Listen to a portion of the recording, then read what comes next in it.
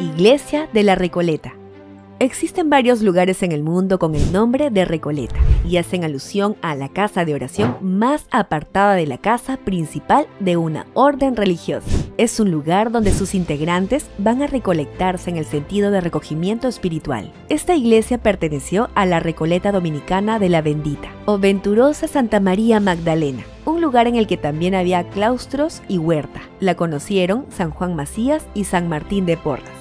Fray Diego de Ojeda, autor del poema La Cristiada. Comenzó su historia en este lugar en 1606 y durante ese siglo una importante procesión nocturna recorría la calle en Semana Santa desde el convento grande de los dominicos hasta esta iglesia, que como siempre tuvo un aspecto barroco como muchas iglesias de la ciudad, pues fue cayendo en desgracia pues el convento fue clausurado en 1868 y en 1882 un incendio la consumió. El templo fue entregado a la congregación francesa de los Sagrados Corazones, quienes construyeron la iglesia y años después inauguraron el colegio Recoleta a su lado. El templo terminado en 1886 fue construido con el estilo imperante de la época, el neogótico, con sus dos alas torres puntiagudas. Iglesia de la Recoleta, un patrimonio con historia religiosa. Nuestra Lima del Bicentenario.